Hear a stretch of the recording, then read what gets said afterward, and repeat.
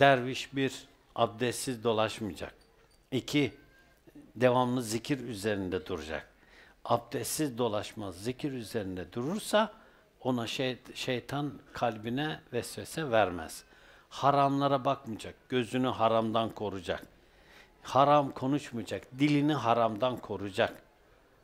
Uzuvlarını haramdan koruyacak, elini haramdan koruyacak. Etrafına merhametli davranacak. Eşine, çocuklarına, yanında çalışanlara zulmetmeyecek. Siz bilemezsiniz. Bir yerde zulmedersiniz, Cenab-ı Hak sizi başka bir yerden, başka bir yerden alt eder size. Siz dersiniz ki ya bu- ne oldu şimdi bununla ne alakası var? Evet sen bir yerde zulmetmişindir. Bir yerde haksızlık yapmışındır. Bir yerde bir ah almışındır. Bir yerde birisinin canını yakmışındır. Başka bir yerden senden çıkar o, çıkmaz diye düşünme. Çıkmasına da sevin.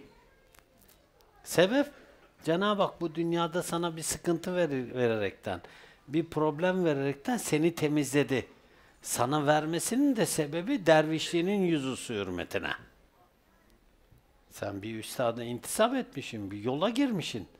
O yolun yüzüsü hürmetine senin başına bir sıkıntı geldi, bir dert geldi ki yaptığın zalimliği, yaptığın hainliği, yaptığın günah kebairliği, yaptığın edepsizliği, yaptığın terbiyesizliği oradan çıkarıyor. Buna sevin yine.